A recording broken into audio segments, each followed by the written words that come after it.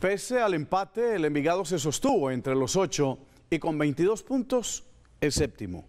Enfrentará las próximas dos fechas a dos equipos eliminados, al Medellín y al Deportivo Cali, en la última fecha Alianza Petrolera que aún pelea por meterse entre los ocho. Reacciones luego del juego en Envigado. En Envigado hubo silla vacía. Al parecer el empate que Patriota le sacó en el último minuto dejó sin palabras al técnico Juan Carlos Sánchez, quien no asistió a la rueda de prensa.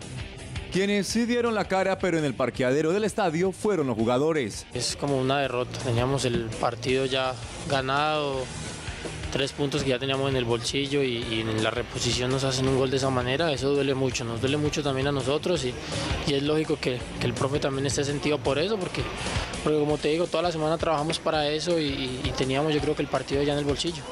El empate no solo dejó sin palabras al técnico, también privó a los naranjas de un triunfo que los hubiera acercado a la clasificación.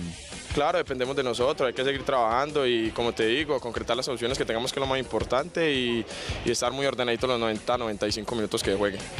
Envigado es séptimo en la tabla con 22 puntos. Su próximo rival será Medellín, clásico antioqueño que se jugará el jueves en el Atanasio, donde independiente de lo que pase, se espera que no queden más sillas vacías.